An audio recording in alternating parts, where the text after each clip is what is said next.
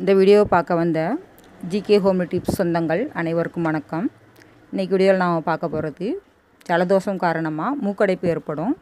அந்த மூக்கடைப்பு ஏற்படுறதுனால மூச்சு விடைய ரொம்ப கஷ்டப்படுவாங்க ஒரு சிலர். அதை எப்படி நம்ம எளிய வீட்டு வைத்தியம் செஞ்சு அந்த மூக்கடைப்பை சரி செய்யலாம் அப்படின்றத இன்றைக்கி வீடியோவில் பார்த்து தெரிஞ்சுக்கிறலாம்.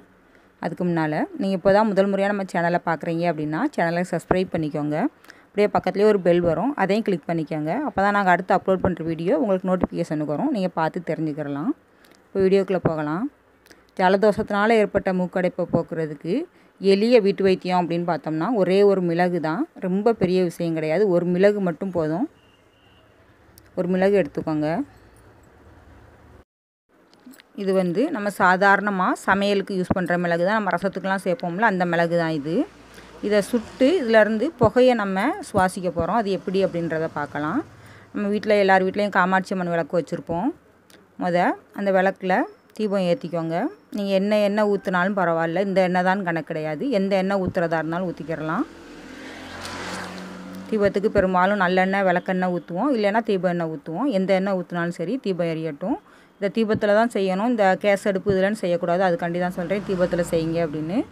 தீபம் எரியட்டும். அந்த நாம் எடுத்து வச்சுருந்த மிளகை ஒரு ஊசியில் குத்தி வச்சுக்கோங்க. நம்ம துணி கை தையல் போடுறதுக்கு ஒரு ஊசி வச்சுருப்போம். அந்த ஊசியை பாருங்கள் அதில் குத்தி வச்சுக்கோங்க. ஒரு சில மிளகு வந்து ரொம்ப குத்த முடியாது. கூட ரெண்டு மிளகு தேர்ந்தெடுத்து குத்திக்கோங்க. அந்த நுனியில் இது பாருங்கள் இந்த இதில் குத்தி வச்சுருக்கோம் பாருங்கள் அப்படி ஒரு மிளகு போதும். ஒரு மிளகை இப்படி லேசாக குத்தி வச்சிங்கன்னா போதும். இது நம்ம கை சுடாமல் இருக்கிறதுக்கு தான். அதை குத்தி வச்சுக்கிட்டு அப்படி லேசாக அப்படி காமிங்க அந்த விளக்கு இதில். பாருங்கள் இப்படி லேசாக பிடிக்கணும். இந்த மிளகும் சேர்ந்து எரியும் ஒரு கொஞ்சம் நேரம். ஒரு ரெண்டு செகண்ட் எரியும். லேசாக வெடிக்கிற மாதிரியும் இருக்கும் ஒன்றும் செய்யாது பயப்பட வேண்டாம்.